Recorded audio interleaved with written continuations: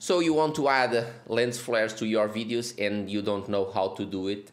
If that's the case, you are in the right place because today I'm going to teach you how to do that. So let's jump in the computer and let me show you how you can add those amazing effects. So here we are inside of DaVinci Resolve and we are in the edit page and I already have here some stock footage that I don't download from Pixabay and this is a simple uh, library that uh, it has some lamps over here. And let me show you the video.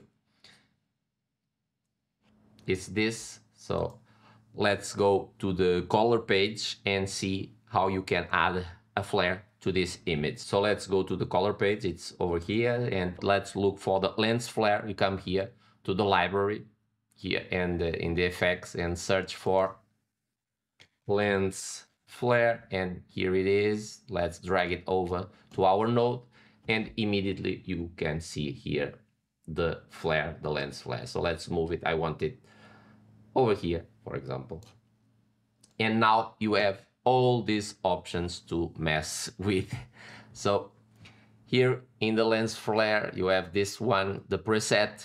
Uh, you can adjust all of this. I like to use the default but you can use the the the blank one or this one or this one headlight of a car like this one. So like uh, sci-fi the old sci-fi the modern sci-fi and anamorphic also and custom. I like to use the default. For me in this case it's the one that i want to choose. And here in the select output. As you can see it's the final final image but you can select the source mask doesn't have anyone so everything is white. Here uh, the ma magnified source mask. So as you can see it's here and here flare elements alone. So you this is the elements only. If you need to adjust this, anything you then you don't see it perfectly. You can come here to this option and it's better to see and of course the final image with everything in here. And of you have also the composite type. You have add. I always use add but you can use overlay so it has multiple. You have you can do it the way you want.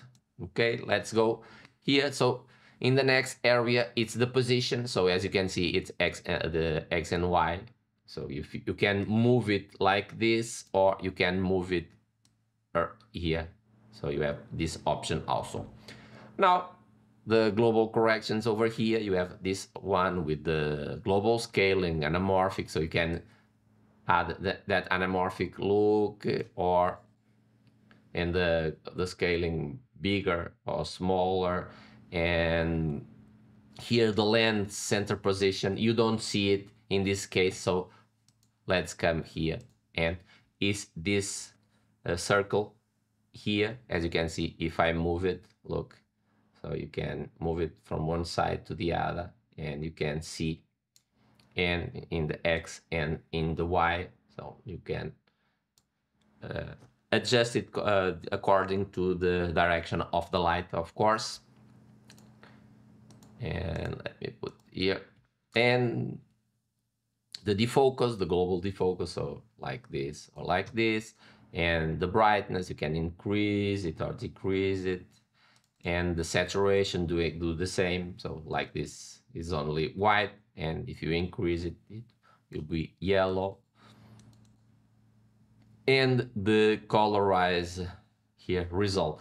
As you can see it's a little bit yellow and white but if you increase it here you can notice that it's going to white only because is this is the color that is that it's uh, chosen.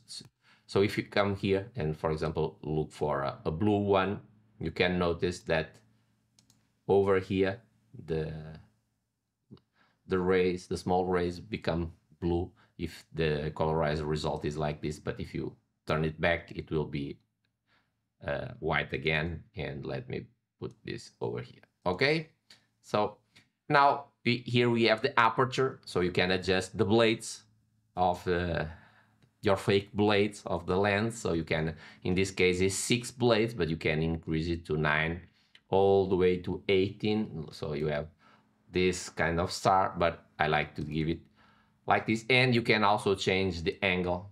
Look you can adjust a little bit of the angle of the flare.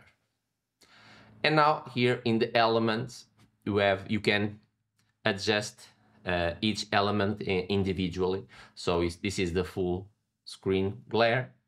You have this here the look so you can adjust this. And you can go to the flare spot so only this part here. So as you can see it's yellow. You can change it to another color look. So if you notice that it's changing. And you can the flare size look so big or little sm small and can adjust all of this. Look so I highly recommend that you use it and try it uh, experiment yourself see what's better for you for your situation because uh, what I'm showing you probably won't be the best option for you. So I highly recommend that you test it and do all this experience yourself. And of course if while you are doing this you are learning okay? So let's continue. And of course you have here also the global blend. You can adjust here the blend. So you can adjust it like this. Now it's done but if you play it you can notice that the flare stays in the same place and the since the image is moving. So now let's uh, um, track this. So let's come here to the tracker. Uh, it's already here, but if you are seeing this, you come here to the tracker. I, I, I believe that you know what is the tracker is, so but it's here, the tracker, and normally it is in this option. Since this is an effect, you have to come here to where it says FX over here and go here. Now let's add some points for tracking. For doing that, you come here to this corner and you can add uh, uh, because you can see you have a plus over here and select it and you can see here a blue plus in the middle so let's put this in a place for tracking i'm gonna put it over here to this in the in this camera i'm gonna add another one and i'm gonna put it here in this lamp and i'm gonna add another one and i'm gonna put it over here so I highly recommend that you put uh, these tracking points in a place where you have a high contrast areas from very bright to a very dark place for the track to work better. Now let me see if everything is okay. Here it's fine. Let me adjust this one also. And in here, it's fine also. So now since we are not in the beginning, I want to track both sides. Let me, let's test if this works. Uh, let me just put this a little bit here. Probably it will be better. And now let's track both ways, tracking forward and tracking backwards. And it's done. Now it's tracked. If I play it, let's see, you can notice that it's it's not that perfect, but okay, I, I hope you understand how to do it. Of course, you can adjust it better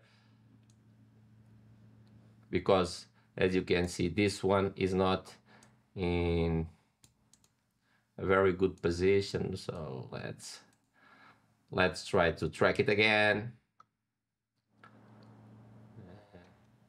Probably it's a little bit better. Now it's done. You can go to the edit page again and see the final result. So this is the final result. And let's play to see if... And of course, this is not perfect because the tracking is not that great, but I hope you understand. So as you could see, it's not that difficult to add those lens flares and in my opinion, it will elevate your videos to another level and I hope this information was helpful and I hope you learned something today. And if yes, don't forget, hit that like button that will help a lot this channel and subscribe if you're not subscribed that will help also this channel to grow to bring you more videos like this one and I hope to see you in my next video. Until there, bye!